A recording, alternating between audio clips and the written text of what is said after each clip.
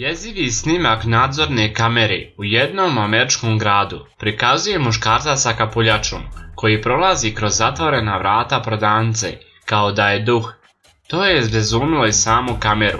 U trenutku kada prođe kroz vrata, godina na snimci se promijeni nekoliko puta između 2016. i 2019. a svjetla počnu da treperi. Zasad se nije pojavilo objašnjenje događaja, a ni beskućnik koji spava na ulici dok se to događa sigurno ne bi bio od pomoći. Pogledajte video u nastavku i svoje mišljenje napišite u komentaru.